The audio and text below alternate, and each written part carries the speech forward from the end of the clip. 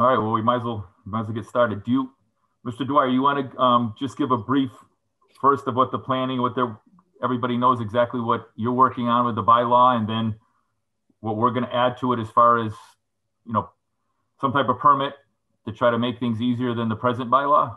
Sure.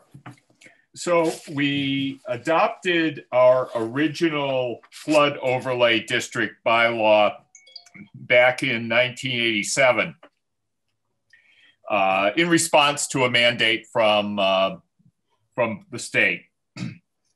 and as part of that, we added a section allowing for what we called mobile recreational uses along the river. Uh, that was a response to the first generation of people saying, I'd like to set up a camp by the river or I'd like to park my trailer by the river. Um, and that's been amended a couple of times in a couple of different ways, nothing particularly relevant. Um, but we now have a new mandate from Boston, Massachusetts Emergency Management to update our uh, flood district overlay river, riverfront bylaws. And as part of doing that, we uh, decided to take another look at the um, at the uh, uses by the river. Uh, the old bylaw required, allowed you to put a uh, trailer or a camper down by the river, but required a special permit for every installation. That was never effectively enforced. And um, I think only a handful of people ever got special permits. Uh, so we decided that, to try to make it uh, simpler. And um, instead of requiring a special permit for every use, well, first of all, let me say the, the other changes, the technical changes to the flood district overlay and what can be done in the floodplain, uh, you know, pretty much what the state wants to see every town have. So we're not going to really spend too much time, uh, more, too much more time on that. But I think what everybody's interested in is uh, the RVs. We, we changed the terminology to match the federal regulations. We call them recreational vehicles. There's a definition in the uh, bylaw of what those are, which is copied word for word from the FEMA regulations. And the uh, goal here is to create a simpler process to allow people to use riverfront property uh, with a permit from the community floodplain administrator, which is another title for the building inspector in most cases, and a special permit from the ZBA in certain circumstances. In addition, there will be other regulations that will apply to anyone, well, they apply to anyone anywhere in town outside the zoning bylaw, and that uh, are the regulations of the Conservation Commission, which has responsibility for development in the uh, floodplain and the floodway, and um, the regulations of the fire department, which sometimes come into play. Uh, also, the fire chief has expressed an interest in being sure he knows how to get to you if you call an ambulance. Um, so I think a lot of what we're talking about here, is, as I see it, is that we're trying to work out a, ways to make sure that this reflects everybody's uh, interests without jeopardizing the obligation of the town to protect everyone. I guess in a nutshell, I'm happy to go into more detail but um, I think the, the big things that we're still talking about and that will be coming into town meeting um, are whether uh, what we don't have complete consensus on the planning board is allowing more than one recreational vehicle per lot. Uh, that's something we're still talking about. And if we do allow more than one, what kind of separation, how much area do, does the lot have to have so we don't create a public health nightmare down by the river. Oh, the Board of Health has some say in some of these things too. So, uh, Tom, is that enough? Yeah, thank you. No, I, that was one of my questions to you was going to be what, at this point, you, are you kind of waiting for the Board of Health's decision on what the distance from the river, how that's going to be determined where the campers can't be as far as if there could be more than one per square footage, you know, or something like that? Well, that yeah, we definitely would be looking for some input from the Board of Health on that, um, Or, and conservation? and, and conservation as well, uh, because um, regardless of the zoning history of this property of these properties along the river, um, the zoning bylaw cannot excuse. Thank you for choosing my Wendy's. I'm sorry about that. Wait, what can I get for you? Uh, yes, could I get a, um, could I get a, uh, The zoning bylaw does not uh, excuse compliance with uh, the Wetlands Protection Act, the Rivers Act, or anything else under the jurisdiction of the Conservation Commission.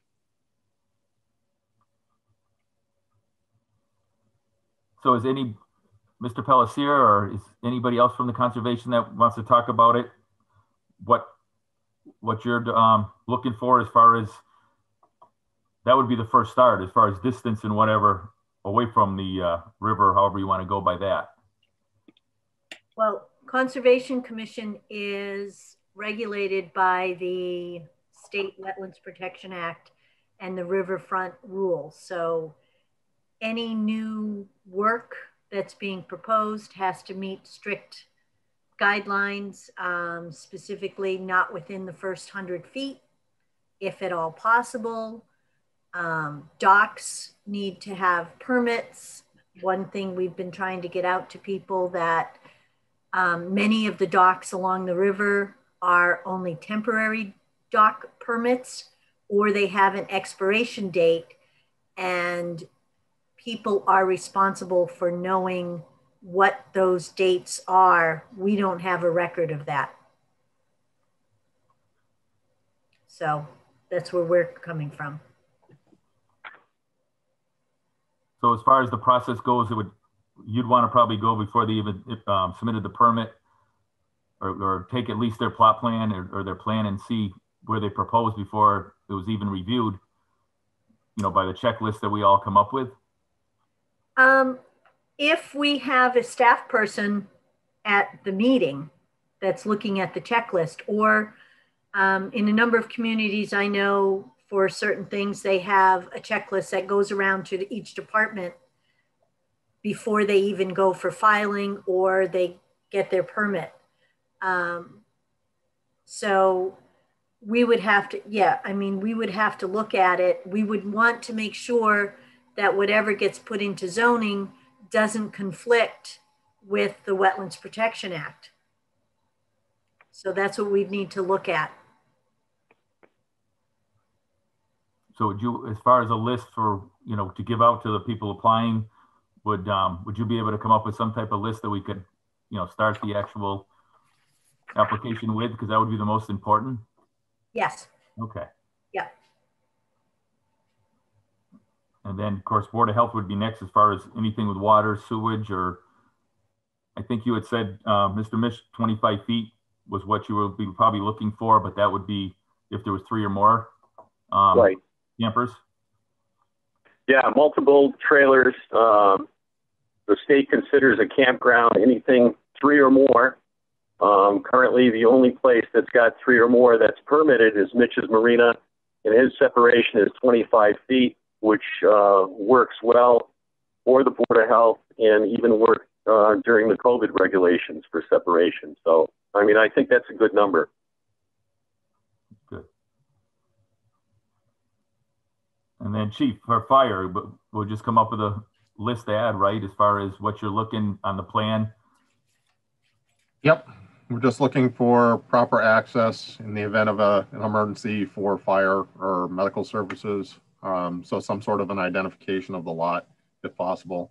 Uh, permitting for uh, flammable fluid storage. So folks are storing propane, uh, which is not incorporated into the campers that they have there.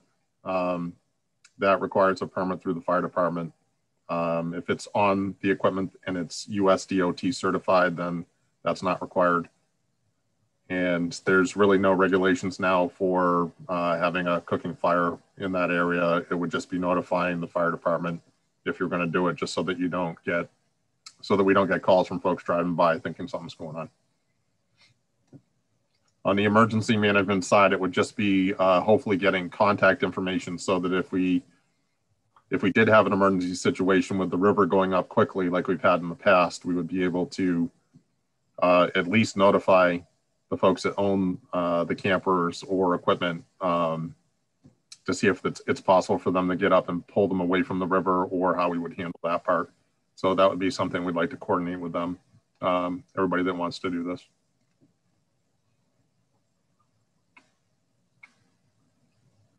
Thank you. Did anybody from ZBA make it?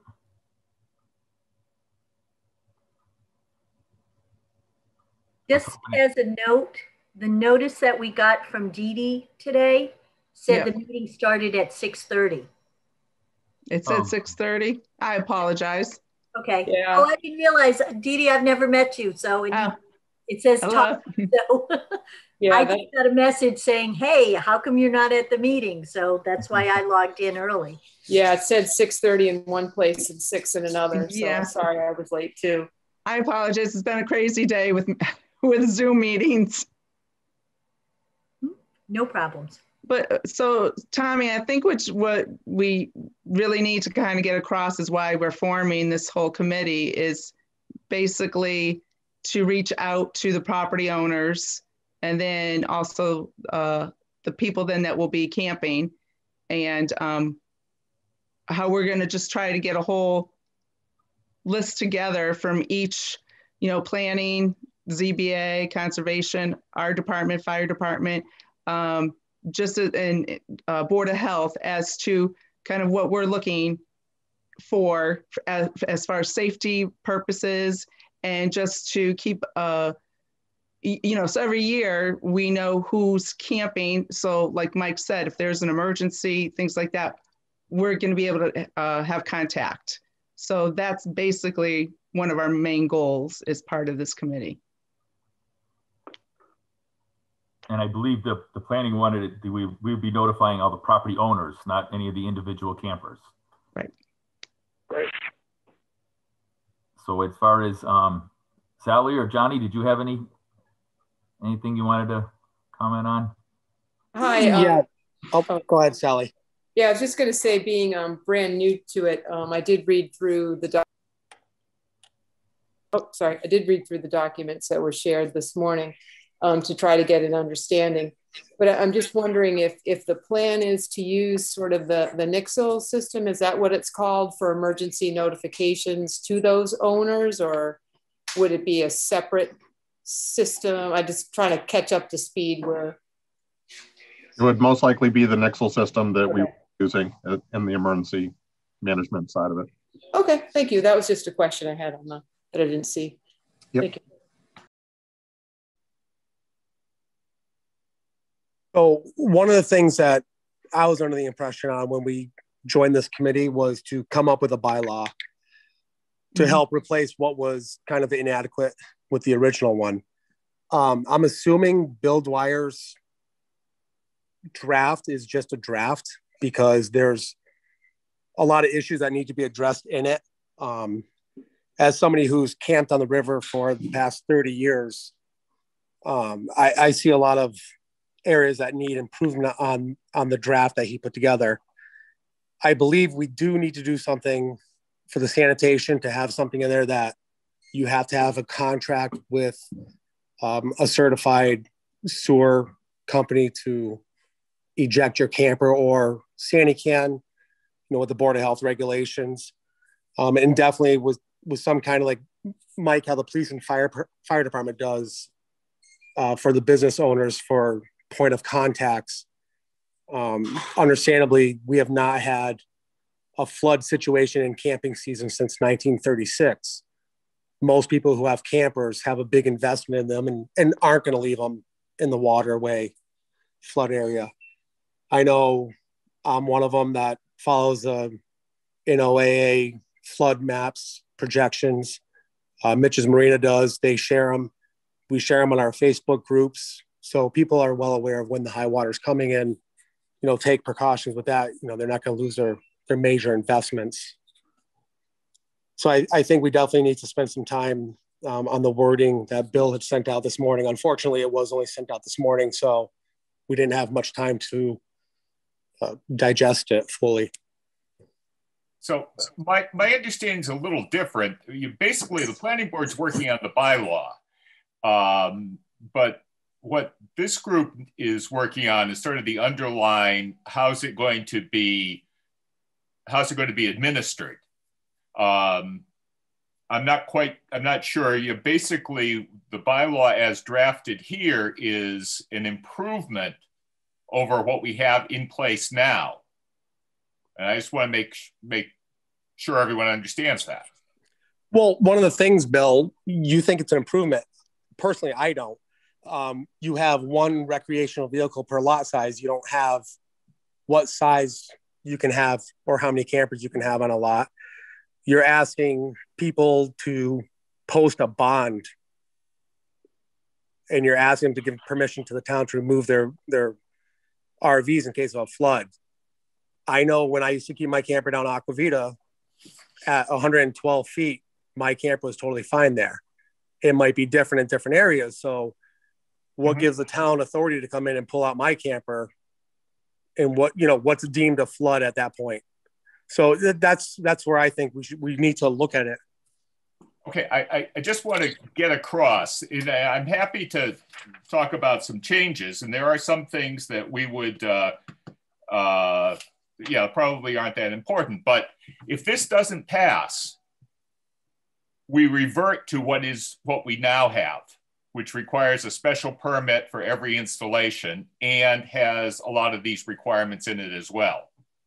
So we're not really working with a blank slate here. I just want to get that across. That uh, no, I, know, I totally understand that. I know we need to do some changes, but let's make sure we do the right changes. We have only a little bit of time to do it and get input. That's why I thought this committee was about the River Bylaw Flood District Committee. So if we can have input from from the members of the committee, we can make it right. So for May town meeting, we can have the right bylaw going in to replace the outdated one.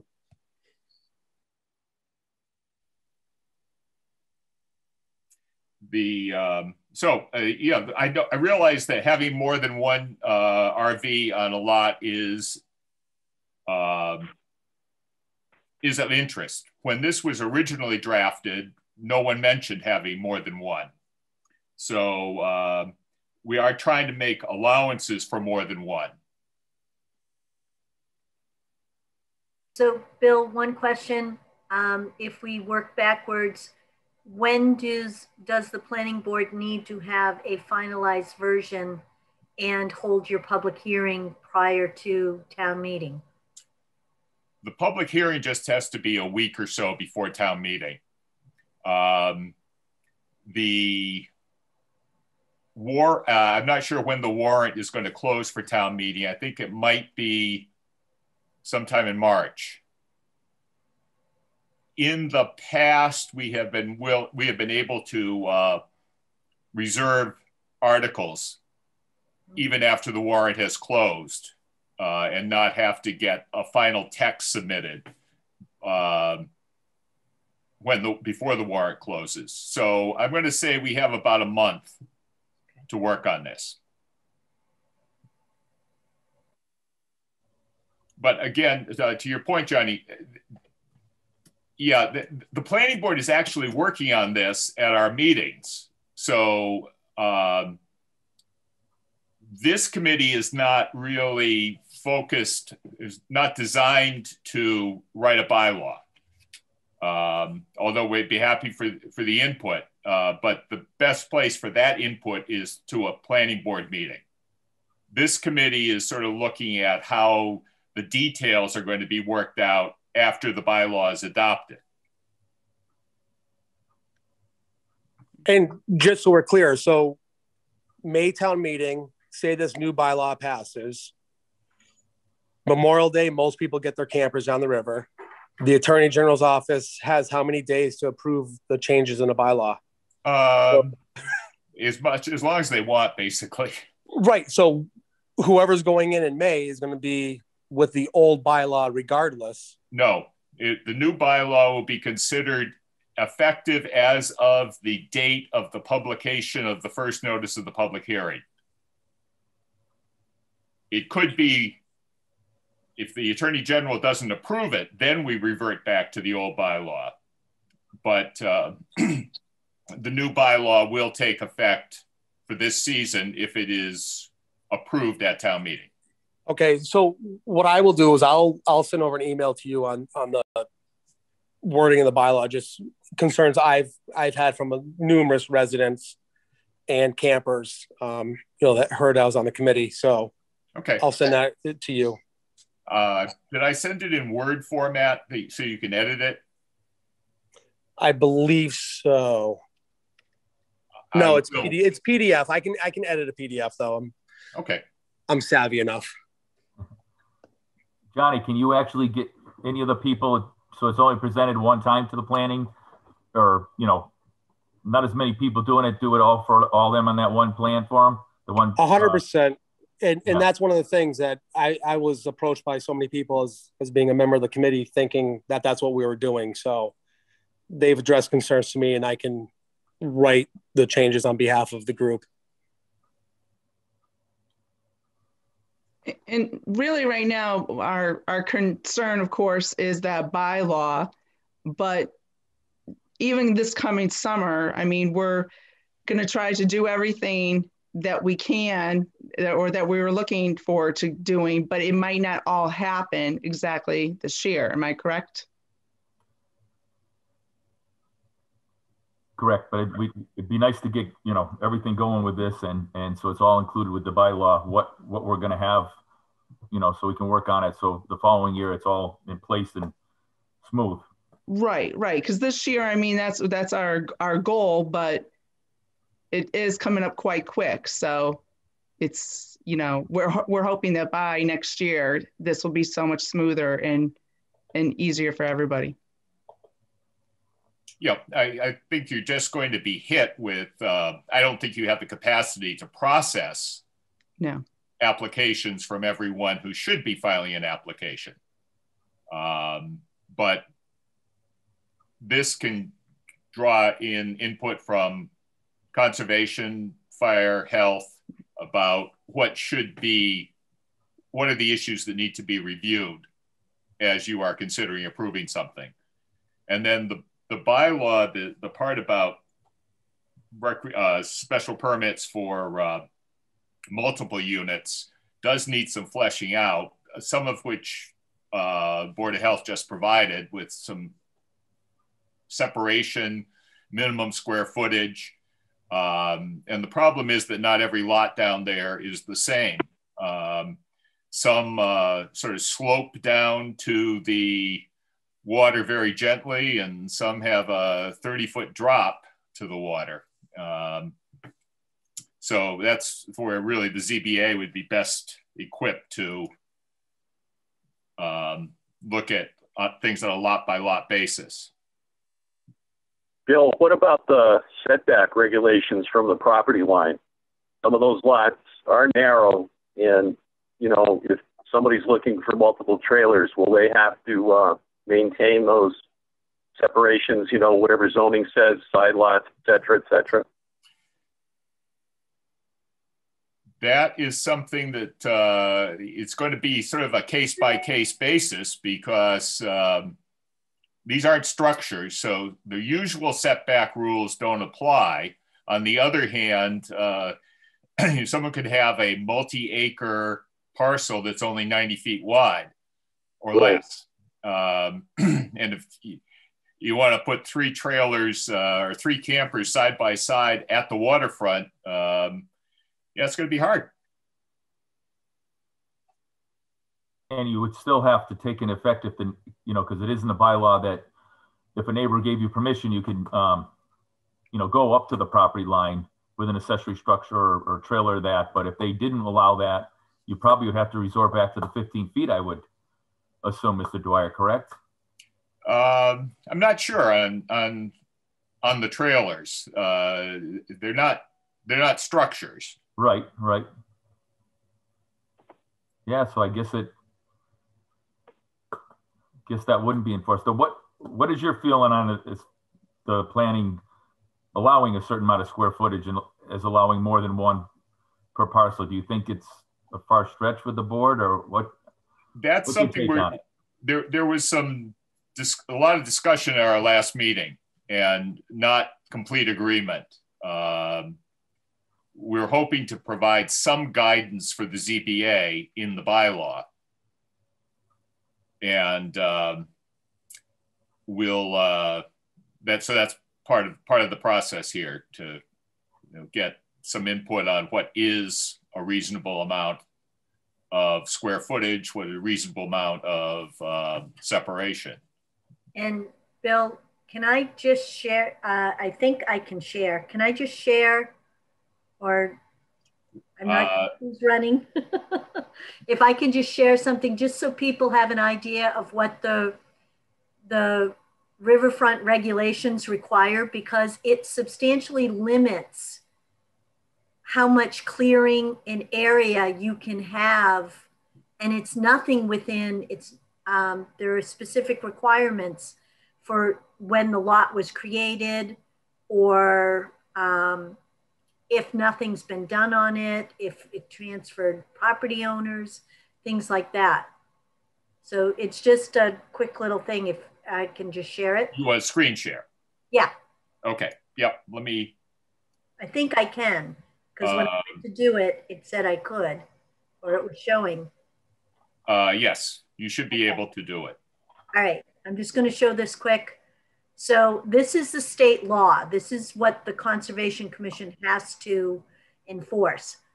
So riverfront area, alteration limited to 5,000 square feet or 10% of the total riverfront area, whichever is greater for lots recorded before um, 10697 or 10% for lots recorded after and it requires 100 feet of undisturbed vegetation. And then for lots recorded prior to that, the issuing authority shall allow, and this is a dealing with a single family house, but it gives you an idea of what the restrictions are under the Wetlands Protection Act, which this is not the commission's regulations. These are things that DEP would be enforcing also. So just as an FYI.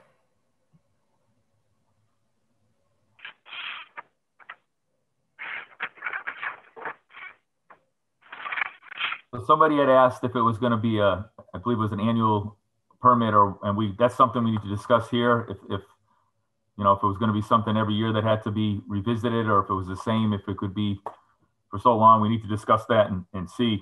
It's going to be a lot of work doing it every year, but there's probably going to be changes every year. So um, at that point, that property, at a minimum, I would think would have to be, you know, revisited with a new permit.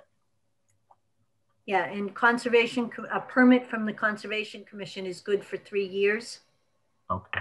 unless extended by the governor. So it would be a three-year permit. So what does everybody think if that's start? You know, three years unless there was some type of change? You know, the permit would be good for three years? I think that's a good idea. Keep it three years. Mm-hmm. Yeah, I agree.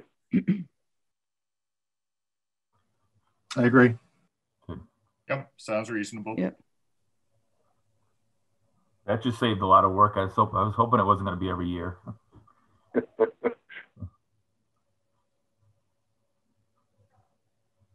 We do not know. Somebody just asked about how many RVs are along the Connecticut River. Um, somebody that's out there every day have an idea on the Hadley side? Not as many as in Hatfield. They're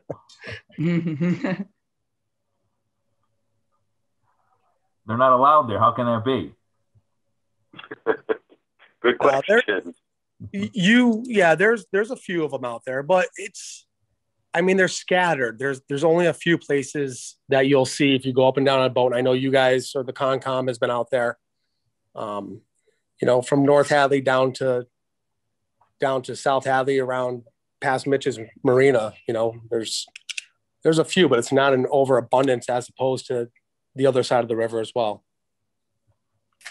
Yeah, I mean, the one difference is Hadley has a very long shoreline along the river.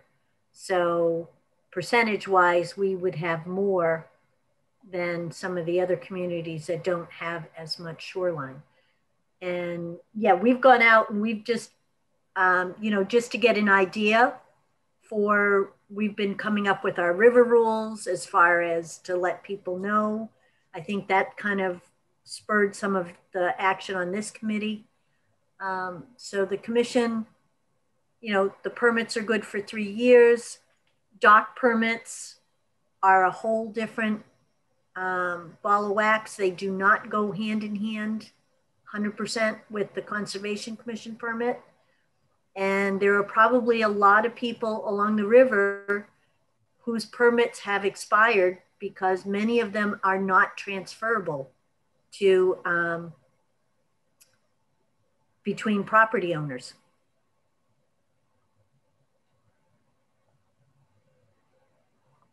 So Johnny, how many how many properties actually now would you you know I know it's a guesstimate, but would you say is there with campers? Is there 50 and probably 100 on the river? When with just a ballpark, what would you say permits would be coming in? I would say you you probably permitted campers. You're probably going to have 75 to 100 coming in. Mm-hmm.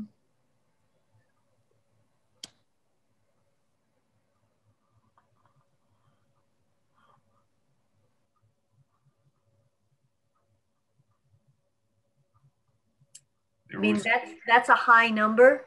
And to get through Conservation Commission um, would be, you know, if they don't already have a permit, which many of them didn't have permits, um, that's going to take a while. So, not sure how that would fit. We'll see. And we kind of started this committee too because uh, after COVID, this past summer, we were getting bombarded with phone calls. Um, actually by some of the people that like Johnny and that have been on the river for years. And then a lot of other people were just coming in with their campers and it was friends of friends. And um, then we had some concerns because then uh, there was one area, I want to say more, it might have been on the Aqua Vitae side, that they were starting to cut down a bunch of trees. Um, and I think the problem is, is a lot of the people that are might be there with the campers not all of them are the property owners and don't know all of the rules and regulations either by the river. And so that's why we figured we really need to start getting a handle on this now. And and I totally understand the whole cutting down of trees. I, I've seen some areas where they clear cut lots. But all in all, you'll you have to admit that places with campers on them are policed by people. There's no litter, no trash. Look at Mitch's Island. That place turned into a disaster from, you know, day trippers who go out there and, and camp for a weekend. Most RV people are considerate about the land because they're there. They don't want their septic leaking out. They don't want to be smelling crap while they're sitting next to the river enjoying themselves. Yes, but the part of the problem is the clearing of the vegetation. It's not so much once they're there and they've got an established spot, it's the clearing of the vegetation um, along the riverbanks, um, wanting to put in docks, creating paths down there. Those are all the things that um, impact the environment versus the camping experience. That's all and and I totally agree with you, Paula, on on clear cutting. You know the trees. I I understand that within 100 feet, you need to get a permit. You know we've never cut anything down where we used to camp down Aqua Vitae, and you know every time a lightning hit a tree, we took a picture of it, and and then cut it so we'd have documentation. Yeah, riverfront is actually 200 feet, Johnny. Yeah, it's been a few years. And if I could just add, again, none of this has anything to do with the bylaw. I mean, this is what we're talking about, but Right. conservation is, is and zoning are completely different realms. So the nothing in the zoning bylaw will have any effect on what the Conservation Commission has authority to do.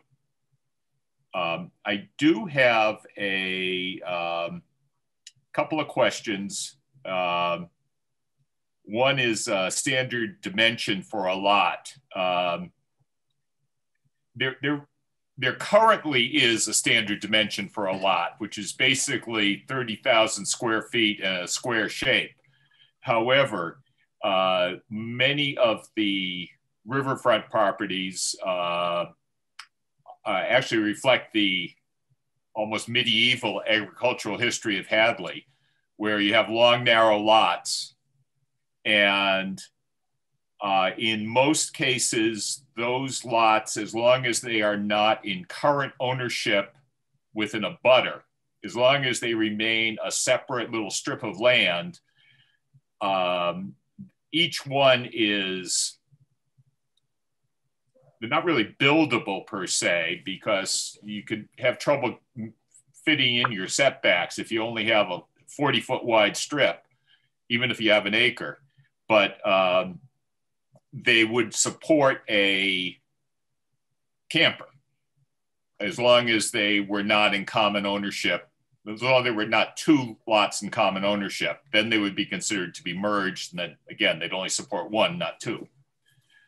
Um, but a lot of the land down there is usable on this level. We do have another bylaw that says no new residential construction in the Hadley floodplain, which is somewhat different than the FEMA floodplain. Um, so some of those lots down there are not buildable, even though they, for zoning purposes, they, you know, they're usable. So that new construction, is that for residential or for commercial? Residential. No new residential construction in the Hadley floodplain, which is on uh, shown on that uh, the map that I sent you. Okay. Now, the largest camper you probably would see on the river is maybe 40 feet long, which is extremely large, eight feet wide. So you're looking at 320 square feet. So I think we need to come up with something for a square footage for that to be comparable. We use the um, we use the FEMA regulation, which allows uh, 400 square feet.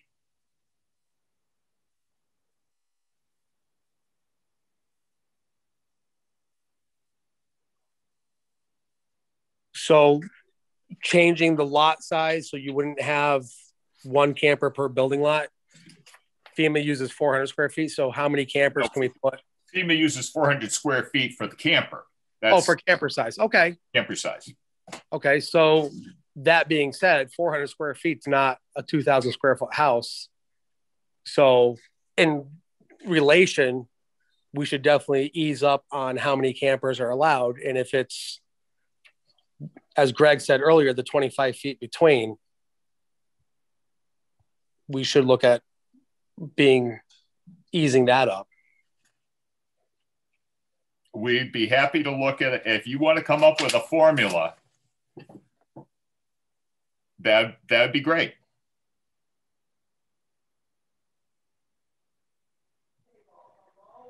Yeah, we can we can come up with something and and for you guys to look at and you know again the board of health to look at and concom And you meet again, uh, the planning board next Tuesday night, Mr. Dwyer? Next Tuesday. So you'd love to, sooner the better. So Johnny, if you could get that and, and some kind of formula, if you want to work on that, just send it to, you know, all the, all the members and then we could just, you know, say we're good with it and, and forward it so it came from one person or suggest anything that need to be changed. You know, maybe that would work to present to the, the planning board and, and see how that goes. yeah we'll we'll get that to you within a day or so Okay. Because you don't want to hear from, from a whole bunch of people, Mr. Dwyer, right? If we can just bring it, you know, If it could get focused, uh, channeled through Johnny, that's, that's fine. Yep. Um, you know, I'm happy to hear from anybody, but um, we're trying to put together something. So yeah, getting getting it through one source would be fine. Uh, I think there were a couple of other questions. Lot, how many RVs? How many permits?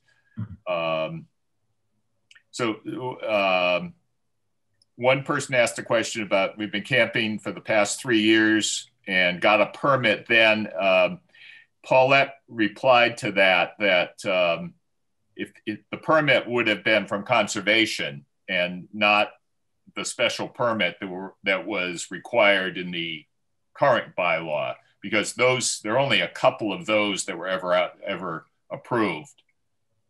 If there were they- five of those that were approved, I'd be surprised. Well, there was two that came in front um, for the ZBA within the past uh, th- about three years. So they could have gotten their permit through the ZBA. Okay. But that's the thing, people don't realize that um, that's what needs to be done. Um, now, I know on my end, I was getting more complaints and Johnny, I don't know if, is there a lot of campers over on the Aqua Vitae side? I know there's quite a few houses, but there's yeah there's a, a larger area when you get from the paved to the dirt road area.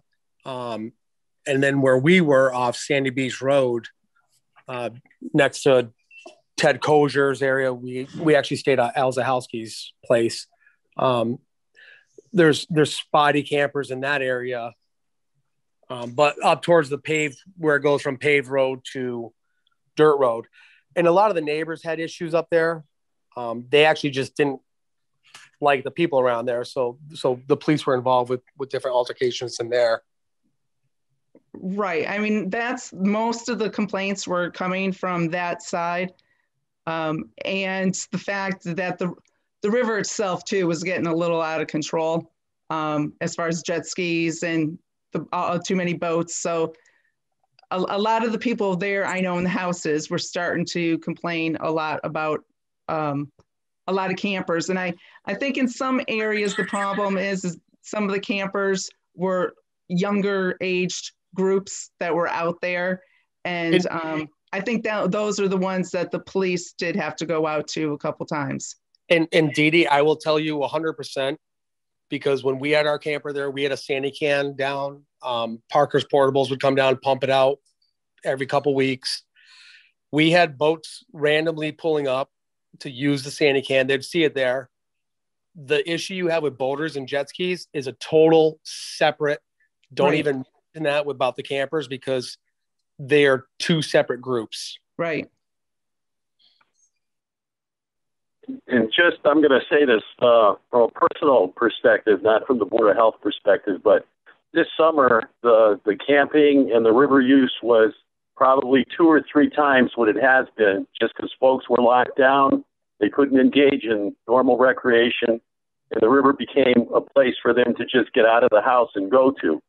So, in other years where during the week there'd be one or two boats on the river, this past summer, you know, there'd be a, a dozen boats on the river. And I think when that happens all at once, uh, you know, the neighbors on Aqua Vitae got excited and, and other folks uh, caused some trouble because they weren't used to camping on the river. So we'll see how it goes going forward. But I think this past year was a little bit of an anomaly uh, compared to past years' usage.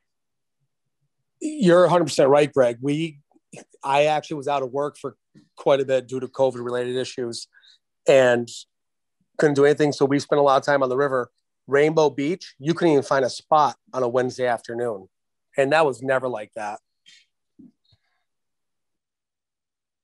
Same with the Everglades Beach over by Northampton um, Community Rowing's Boathouse, where we row out of. Um, huge. There's that big sandbar that's formed, and tons and tons of people. They're walking in. They're not camping. They're walking in, or it used to be the boaters that would pull up, and they were fine.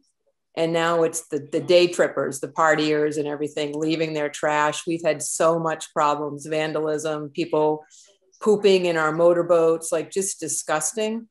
Um, and, you know, I would say as a person who's on the water every single day in the summer in a small little rowing scull, um, the residents along the, that are camping along or that have the campers along the, the river are kind and they get us and mm-hmm. they're respectful they slow down they wave um, it's you know folks that are day boaters you know putting in at some of the different marinas i think down towards the south um, and they come ripping up um, and it's yeah it's this summer was insane on the river mm-hmm. i would agree yeah unfortunately most of those crews come from the state ramp where they don't pay any fees and yeah. just and that's why mitch's and, and such as banned jet skis you know yeah. So i think there's separate issues. I think one is there's no cutoff point for how many uh, boats can be on the river. Mm-hmm. so it can just fill and fill and fill and fill and then people have want to pull over they want to swim they want to go in the woods to do what they're going to do. So um, i think there's just there's just multiple issues you know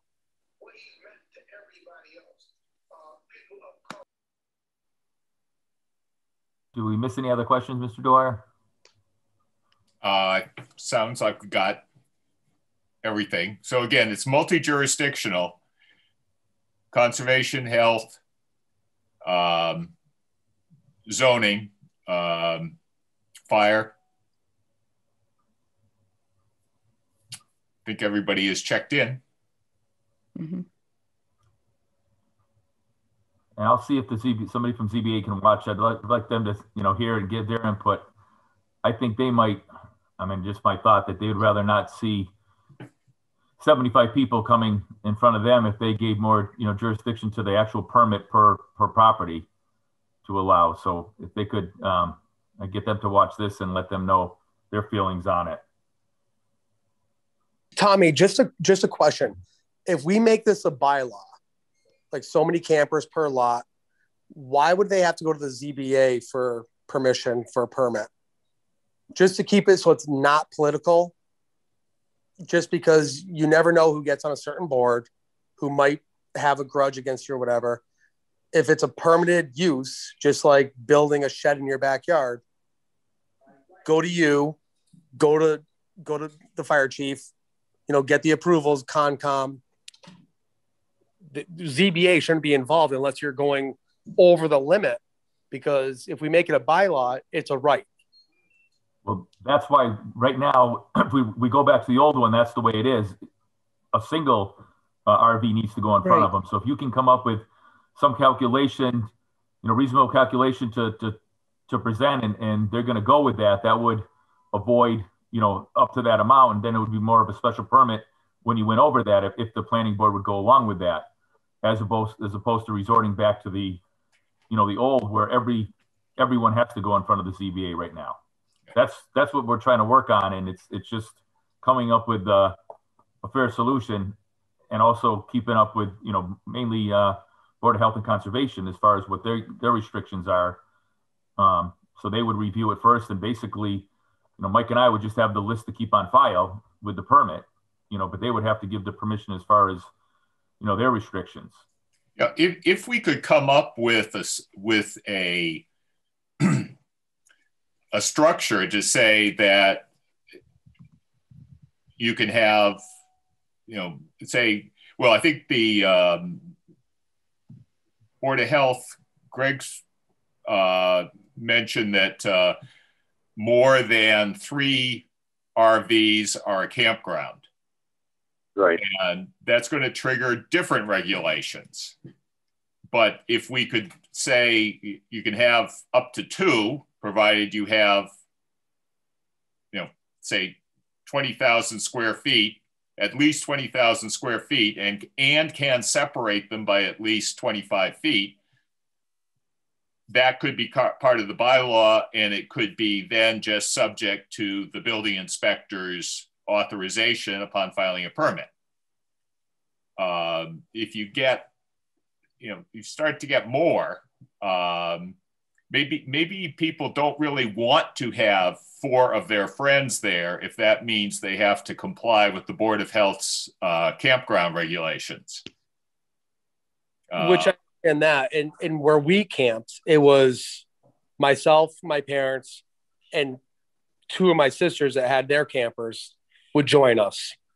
So you're you're kind of that's where we need to get a number together and and and and come out to a, an agreement there on that.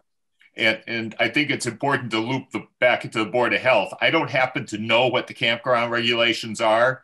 Greg, do you happen to know where they where do you have a reference for them? Not off the top of my head, Bill, but I know it is in the state sanitary code. Um, I've got a copy, a hard copy here somewhere. If I can find it, I'll get it over to you. Okay, uh, just if you could just give me the um, the citation, I can dig it out easily enough. But okay. that might be a, Johnny. That might be a limiting factor if, if if we're going if putting five campers on a parcel or uh, even four campers on a parcel triggers another level of regulation, maybe you don't want to go there. Maybe yeah, and on that point, if you have a large piece of land, then you just separate it.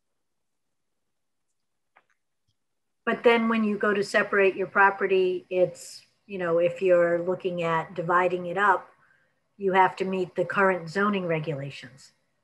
And the other issue is, Johnny, just one thing you said that I just want to clarify with people is that just because it says you can do it under zoning does not mean that you have the right to do it under environmental re regulations like the Wetlands Protection Act.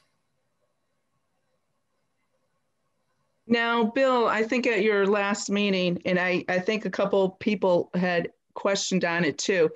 Like, say, for instance, uh, Johnny comes up with something, and depending on the size of the lot, you can have two, you know, campers or three. Um, but what were what were you saying, um, or what we were trying to figure out that if like you just had a relative that was coming one weekend for that whole summer. Um, and, and I don't know if that makes a change with conservation also too, that, you know, that they're just having somebody come in for like a weekend for the whole entire summer. I mean, is there going to be special rules or regulations that we're going to make for those? I think we would defer to the zoning enforcement officer as to how much effort he wants to put into uh, tracking down the the one uh, someone who's there for the long weekend. Right, right. So I mean, I on our end, because yes, I have to deal with it too. um, you know, I think I just want to make sure that it wasn't like a a big issue as far with conservation. I mean, and, and it's not like we're going to be patrolling and things like that. I think our top goal was always because, um, you know, making sure we had, you know, we know who the people are and have contact. That was especially fire's biggest thing. And then being able to get down there. And um, so, you know, I think that's a lot of the the concerns and everything. We're just trying to make it safe for everybody that's been down there.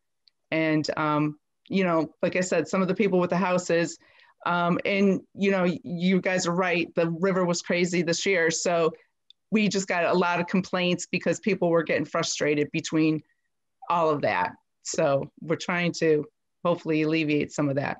So the worst case scenario there would be if uh, some problem arose and it turned out that the only camper on the site was the one from the weekender uh, that that relative came in before the property owner had installed their mm-hmm. camper and we didn't have any contact information for, for someone for a three day period. I can't see that that's likely to be a problem, but um, that would be the worst case scenario.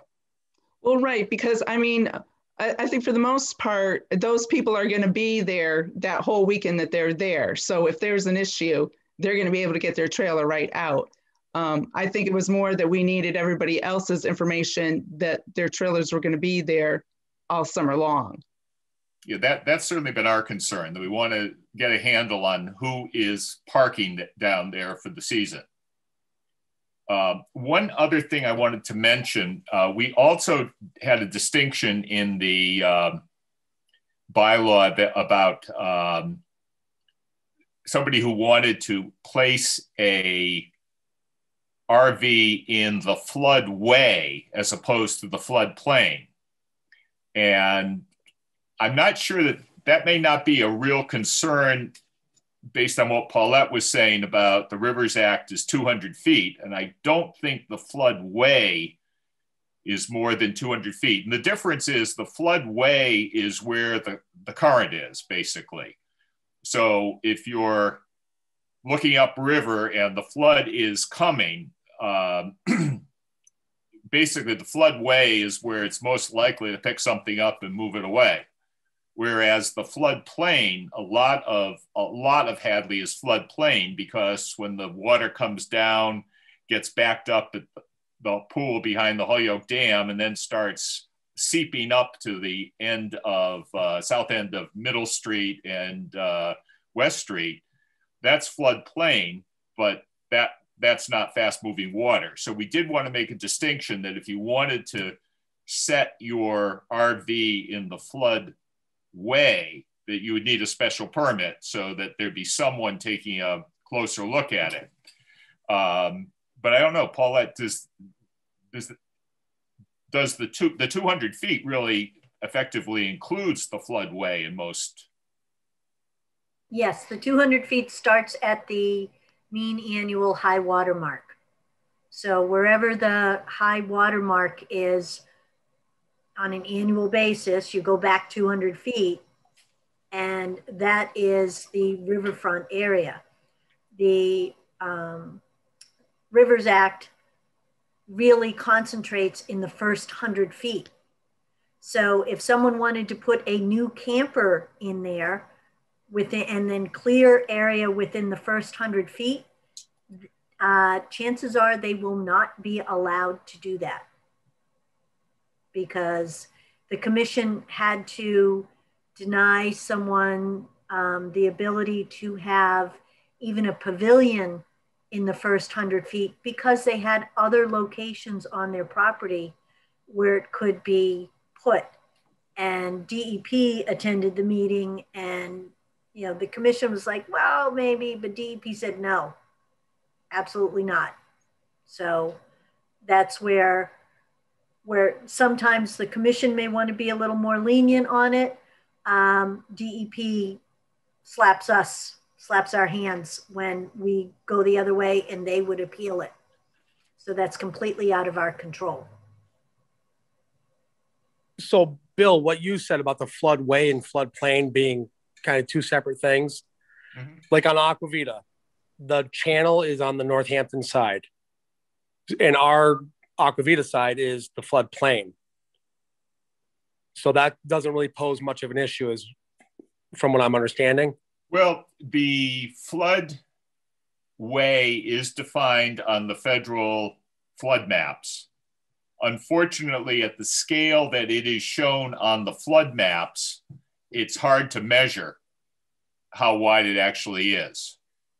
Yeah, um, if if you spent time on the river, you'd see that when it does flood, where it goes. And and I'll tell you right now, Aqua Vitae, you're not going to have torpedo campers setting off from there, so it it, it should be okay in that area. Um, it, with most of the town, the way it's set up, you know, where the way the channel runs. Okay, then maybe it is worth backing off and just putting the uh, ZBA in charge of multiple campers on a lot. Maybe above a, above a minimum number. Let's say two is okay because it that's below the campground regulation. Um, more than two, perhaps that does need a special permit based on all of, and then the ZBA can look at all of the features of the lot in question.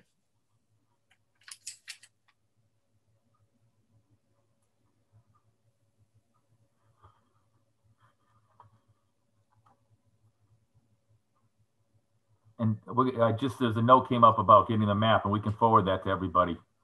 Um, so as far as the uh, chief and conservation, conservation board of health, is, is there any chance before, so I could present kind of a list of what I was thinking for a, for a permit before uh, the planning meeting next Tuesday to get anything or kind of pushing? I know everybody's busy, but it really should be a, you know, short kind of list, you know, how you want to word it and whatever on the permit.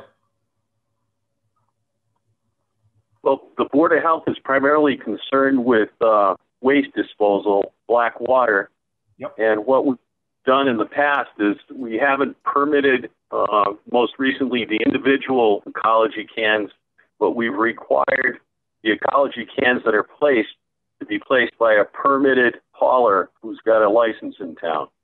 So that that would be the one most important thing for the Board of Health um, is the black water um, management.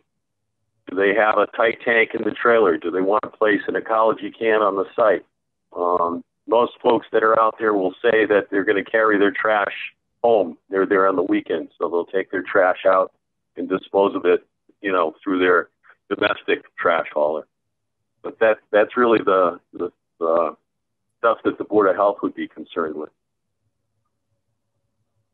So do you, do you think just putting a question, however you want to word it on the application to get an answer for you, get, you know, yes or no would, would suffice if they say they are taking it all home, everything and, and disposing it themselves, that it would cover it? Would that, you know, just something to write on that application that check yes or no be sufficient? Well, yes or no for hauling out the trash, but I would prefer that they would have the name of the licensed septic hauler that was going to either pump out the ecology can or their tight tank to be sure that that company is permitted in town. And Tommy, everybody I spoke to that has campers 100% agrees with that. You know, if, if you are having your waste removed, that's a no brainer because everybody that's legit camping down there does do that. So basically, Board of Health would just be two simple, you know, questions. Answer Yeah. one and yes or no on the other. And uh, so however, if, if you had a chance, Mr. Mish, just send that, how you'd want to word Yep. it. And I'll, I'll just put together a, hopefully just a simple sheet form that the, to have the planning board review, with review with them next Tuesday, if we could get that. Sure, sure, I can do that.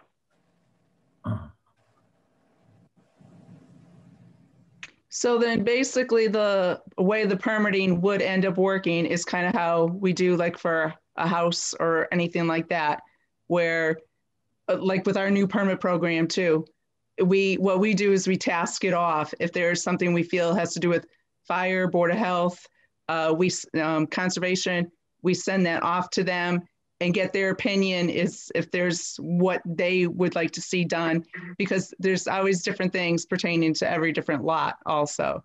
So, um, but that's kind of what we're trying to get at. Is that right, Tommy? Yeah, well, I was trying to simplify it so that the Board of Health, if they're okay with how, I- how they accept the answers, or they want to know just that um, the license holder, you know, shoot them an email that they don't have to be bothered even reviewing the applicant, the application at that point, just to save some time and all, in cons, because conservation is going to take enough time to do with what Yeah. they have to do. I think a simple checklist is the best way to go. Mhm. And as far as the fire department and emergency management, we would just include a, basically it would be a link to the Nixle system. So uh, that's something that they can do on their own. Uh, the permit itself would have, have con- contact information, but them just signing on that Nixle is just easy enough for, for us to get them information. As far as the permitting for propane, uh, that's, all again, it's not, it's not for their barbecue grill. It's if they have, uh, you know, a hundred pound tank that they're using on site, or if it's, uh, as long as it has a USDOT inspection and it's attached, secured to the, the camper, then that's, that's fine. So basically, if you can come up with what type of checklist, if it's over 100, they need to contact you, and they're saying, you know, they don't have anything, would, would be good.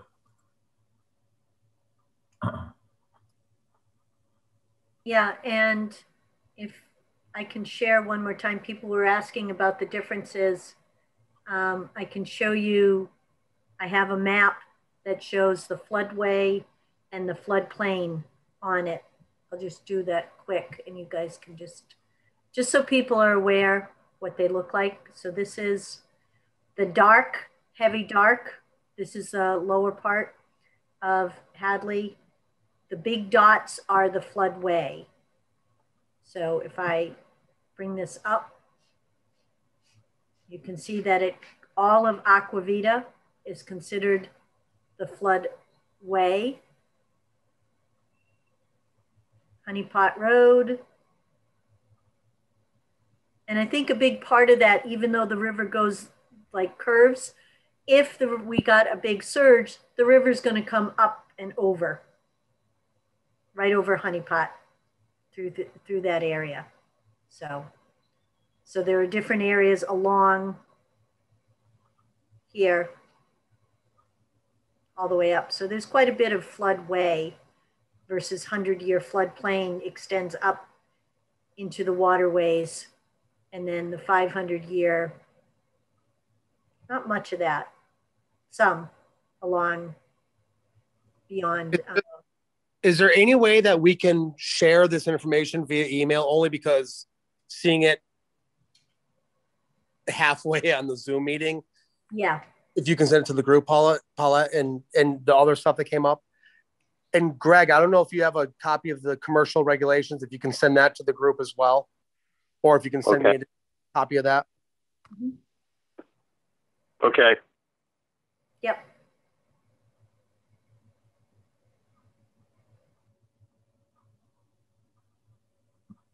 Anybody else have anything they wanted to bring up about it before we go to the planning board on Tuesday?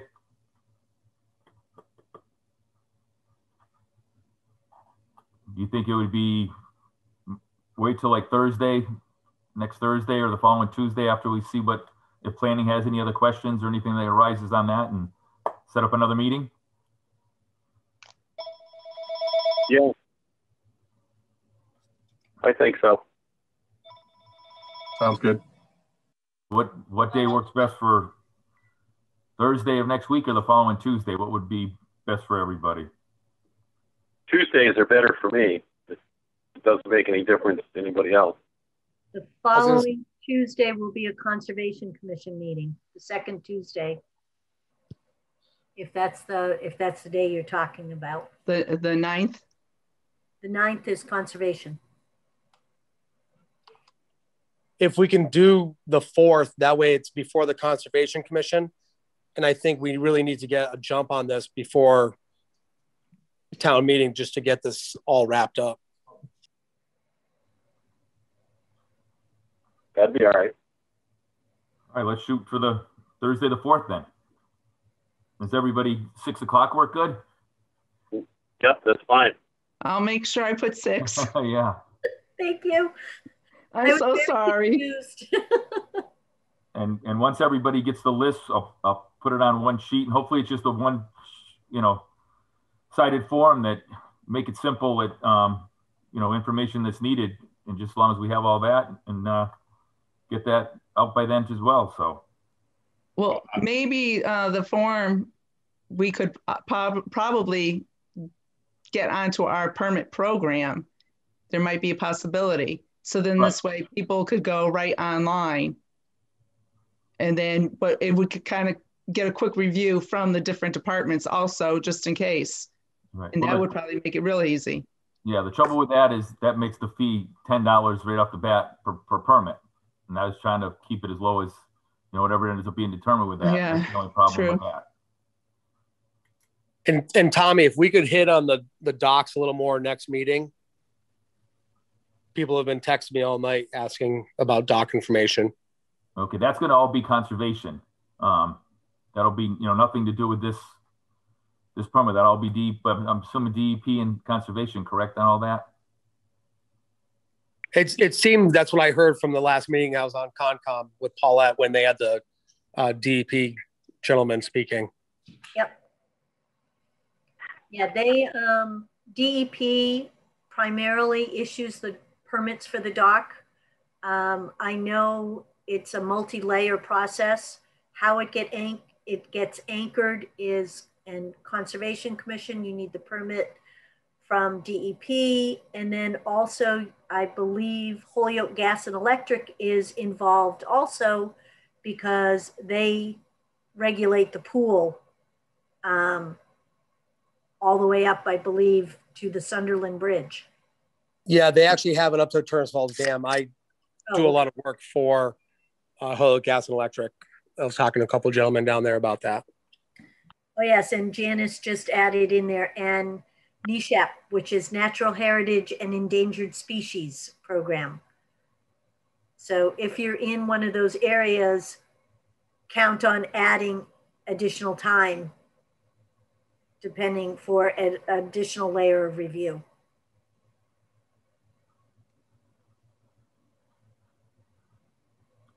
And as far as, this- you don't want to keep conservation, that, keep that all separate from this, the whole RV?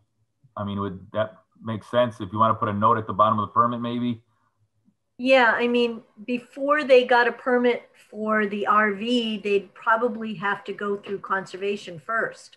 Correct. that would streamline it for them that you've got conservation commission permit and then from there you are proceeding to your either building or zoning or whoever else as long as there aren't substantial changes on it it shouldn't have to go back to conservation commission so Okay, so, so basically if they have their plan, they submit it to, to conservation first, it would just be a, a box checked off, you know, with a copy of your, um, approval Yep. attached when they put the permit in, okay.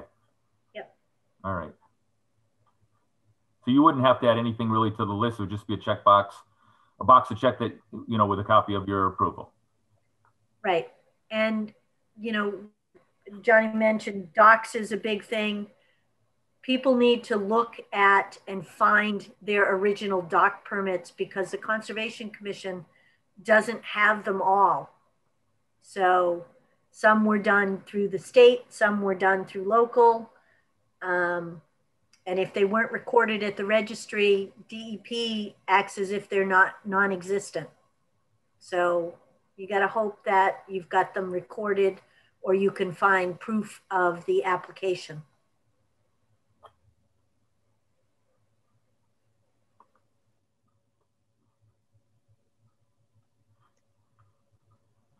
Okay, anybody have anything else?